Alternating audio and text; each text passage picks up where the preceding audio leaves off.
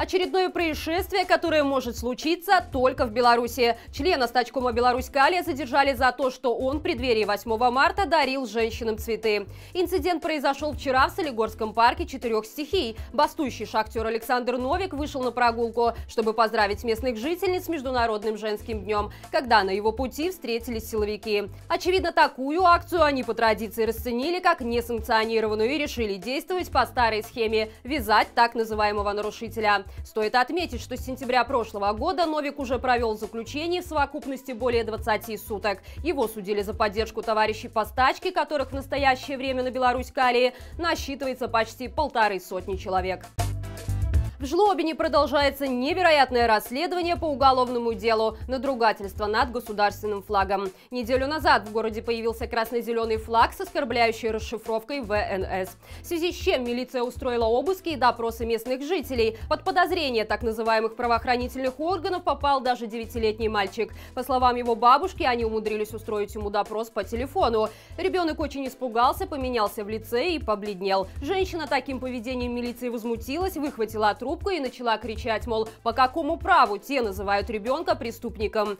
На этом власти не успокоились, и на следующий день к родителям журналистки местной редакции «Сильные новости» пришли с обыском. Соседи быть понятыми отказались, и на помощь силовикам вызвались представители местной цыганской диаспоры, которые даже не умеют читать. Но это не помешало им оставить свои подписи в протоколах, понятия не имея, что там написано. Интересно, что когда силовики открыли сарай с козами, и те не давали правоохранителям попасть внутрь помещения, то они начали угрожать, дескать, запрыскают животным глаза слезоточивым газом.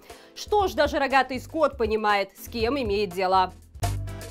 На литовской таможне задержана крупная партия контрабандных сигарет. Незаконный груз на сумму в более миллиона евро был спрятан в фуре среди досок. Таможников привлек странный маршрут белорусского дальнобойщика транзитом через Литву в Эстонию, а также сам вид декларируемого товара, который часто используется для прикрытия контрабанды. Сотрудники погранслужбы отправили машину на рентген и обнаружили в фуре более 300 тысяч пачек сигарет. Стоит отметить, что за последние недели это уже вторая настолько крупная партия контрабанды контрабанды. Первую в конце февраля нашли польские таможенники. Стоимость нелегального груза составила не менее 7 миллионов долларов. Примечательно, что в обоих случаях контрабандные сигареты произведены на гродненской фабрике «Неман». Монополия на продажу сигарет этого предприятия не так давно перешла к сыну одного из кошельков Лукашенко, Алексея Алексина. Очевидно, такая рокировка от отца к сыну была сделана лишь для того, чтобы Алексин-старший не попал под европейские санкции из-за спонсирования нелегитимного правителя. Впрочем, суть преступной схемы от этого не поменялась. Огромные партии дешевых белорусских сигарет продолжают нагло и целенаправленно гнать в Европу. Очевидно, у тех, кто занимается этим бизнесом, есть очень хорошая крыша на белорусской стороне. Полнедели лидер гродненского андеграуда Игорь Банцер держит сухую голодовку в местном СИЗО. Мужчину задержали еще в октябре прошлого года за то, что он снял штаны перед силовиками. Все эти месяцы на него оказывалось давление, его содержали в одиночной камере и помещали в карцер.